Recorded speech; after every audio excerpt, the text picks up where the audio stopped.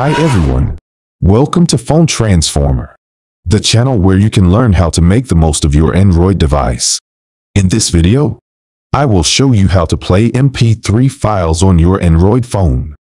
Let's get started. Step 1. Open the Music Player app on your Android device.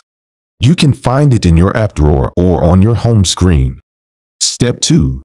Locate the MP3 file you want to play.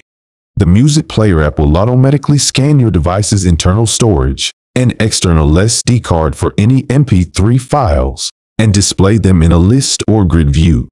You can browse the categories such as albums, artists, songs, genres, etc. to find the MP3 file you want to play. Step 3. Once you have found the MP3 file, simply tap on it to start playing. The Music Player app will open a new screen with the MP3 file's details, such as the title, artist, album art, duration, etc.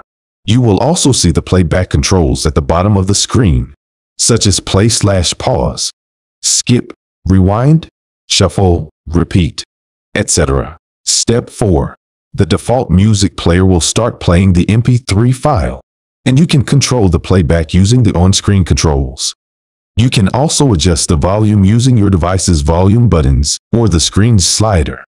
You can also access more options by tapping on the three-dot icon at the top right corner of the screen, such as adding the MP3 file to a playlist, sharing it with other apps, deleting it, etc.